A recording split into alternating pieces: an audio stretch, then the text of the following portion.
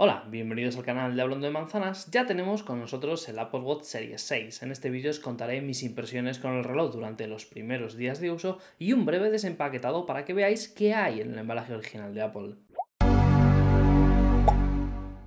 El modelo que hemos escogido es el Apple Watch Series 6 lanzado por Apple en septiembre de 2020 y en concreto el modelo de 44 mm en color rojo Product Red con la correa Loop de nylon. En el embalaje viene un paquete para la correa más otro para el reloj. Entre los accesorios del reloj este año contamos solo con el cable de carga USB estándar e imán en un extremo. No encontramos cargador. Decisión que no nos gusta, más tratándose de un reloj de más de 500 euros. En la otra caja encontramos la correa. Nosotros hemos comprado la Loop clásica en color rojo Product Red.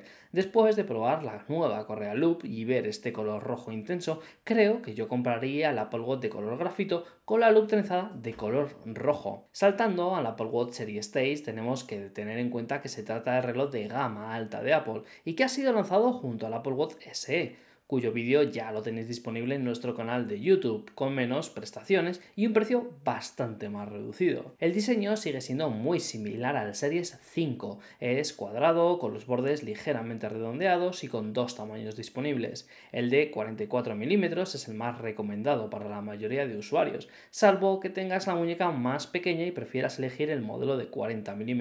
La primera gran diferencia del Series 6 respecto al resto es que está disponible en color azul y en este color rojo Product Red. El rojo es atractivo, aunque muy muy llamativo. Quizás en unas semanas de uso termine viendo mejor opción comprar el modelo azul o quizás el clásico grafito.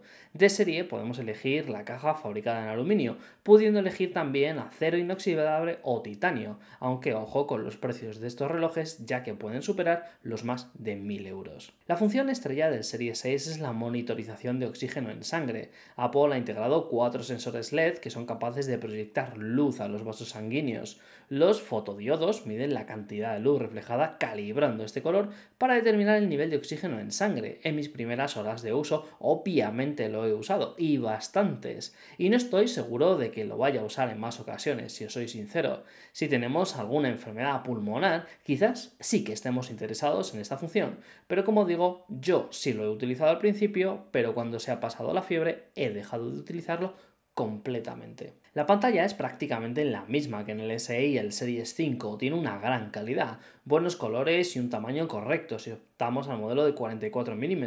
La gran diferencia del Series 6 es que ahora la pantalla tiene un 20% más de brillo que los modelos anteriores, lo cual permite que la pantalla se vea mucho mejor al aire libre y en especial al sol. Además, continúa contando con el modo Always On, la pantalla siempre activa, una de las funciones que no está en el SE y que a mí me está gustando más del Series 6. En todos los análisis y vídeos anteriores siempre he comentado que no entendía para qué queremos monitorización del sueño si no tenemos que quitar el reloj para cargar. Pues bien, la nueva batería del Series 6 cuenta con más capacidad y una nueva forma de carga. Ahora podemos cargar el 80% de la batería en una hora. En los días que llevo usando el reloj yo no lo cargo ya por las noches, sino que lo pongo a cargar cuando llego a casa, por la tarde o cuando me voy a la ducha.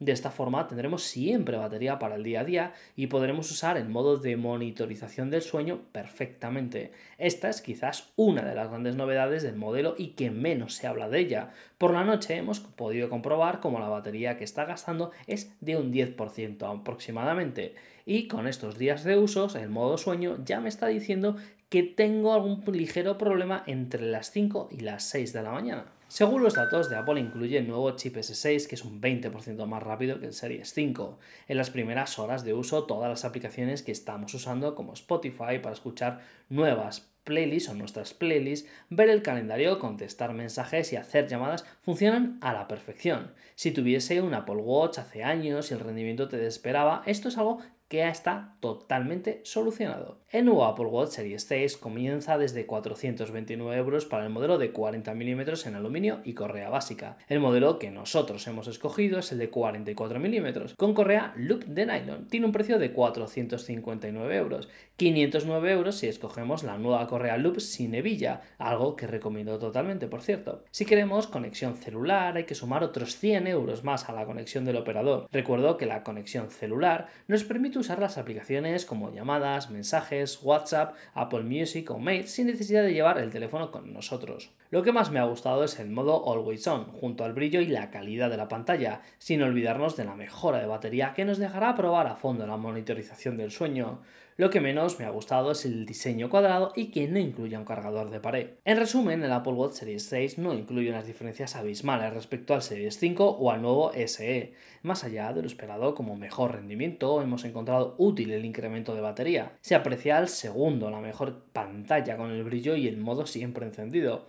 Sin embargo, tengo dudas de necesitar pagar por funciones tan avanzadas de salud como la monitorización de oxígeno en sangre. Queda claro que es el mejor reloj de Apple y el mejor smartwatch que puedes usar junto a un iPhone actualmente, pero su precio y la similitud al Series 5 hace que tengamos que esperar al análisis completo para poder mojarnos más en la recomendación, análisis que por cierto ya lo tenemos en el horno. Si el vídeo os ha gustado y os ha resultado útil, pulsar la manita arriba para el like, dejar vuestra opinión en los comentarios, suscribiros al canal y activar las notificaciones para estar atentos a todos los vídeos publicados. Y recordar que nos podéis seguir en la página web hablando de manzanas.com y en las principales redes sociales. Muchas gracias por vernos y hasta el próximo vídeo.